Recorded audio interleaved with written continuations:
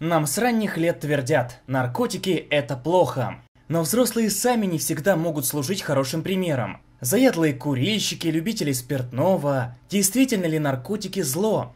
Почему они так меняют людей и как работают? Впервые о наркотиках нам стало известно благодаря шумерам, которые жили за 5000 лет до нашей эры. Наркотики потребляли люди разных культур в разных целях. Китайцы считали гашиш лечебной травой, которая помогала им избавиться от рассеянности и кашля. Скифы использовали конопляные семена для растопки бани, а южноамериканские индейцы при проведении церемоний вызова духов жевали листья коки. Даже Гомер, известный древнегреческий поэт, в своей эпопее об Одиссее писал о подаренном Елене Прекрасной снадобье, дарящем забвение бедствий. Как вы уже догадались, широкое применение наркотические вещества получили в медицине благодаря своим особым свойствам. Разнообразные зелья, мази и травы помогали людям справиться с болью, бессонницей, простудой, усталостью или плохим настроением. Даже в современной медицине некоторые из них продолжают использовать для облегчения страданий тяжело больных. Но если эти природные чудо-травки и их современные синтетические заменители помогают исцелять и облегчают боль, что же их делает такими опасными для здоровья человека? Практически все наркотики, прямо или косвенно, нацелены на систему поощрения мозга. Да-да, та система поощрения, которую используют для дрессировки животных. Только в роли циркового животного оказывается человек.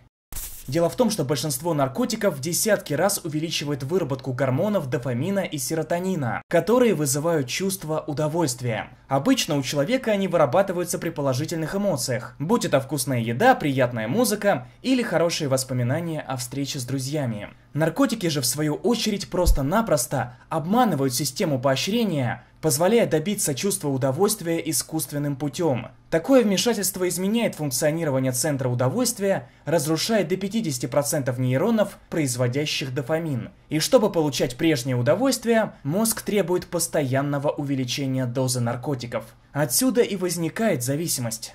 Отказаться от наркотиков организму очень сложно из-за так называемого синдрома отмены – он проявляется в том, что при снижении дозы желанного яда или полном отказе от него, физическое и психологическое состояние человека резко ухудшается.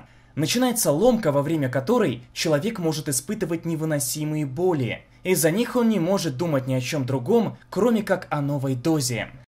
Чем дольше человек принимает дурманящие вещества, тем быстрее прекращается действие очередной дозы, и он сразу же начинает испытывать потребность в новой. Чем сильнее наркотик, тем быстрее формируется этот синдром. Бессонница, ухудшение памяти, головные боли, психоз, истощение, импотенция, нарушение работы разных органов, инсульт и инфаркт – вот далеко не полный список того, чем могут одарить нас наркотики. А потребление инъекционных наркотиков может привести к заражению различными инфекциями, в том числе неизлечимой ВИЧ-инфекцией. С развитием науки и медицины менялось применение наркотиков. В 19 и даже в начале 20 столетия свободно продавались товары с содержанием ныне запрещенных веществ, таких как героин, кокаин, морфий, метамфетамин и многие другие. Все это продавалось под видом лекарств от разных болезней. Даже известная нам всем газировка Coca-Cola в период с 1886 по 1903 год считалась лекарственным напитком и содержала в своем составе кокаин.